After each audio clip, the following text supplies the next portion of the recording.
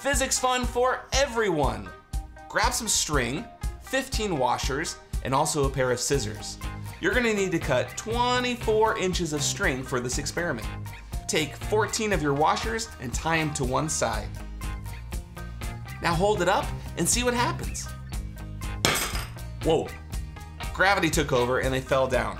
But we have one more washer that I need you to use. Tie it to the other end. And let's try it again.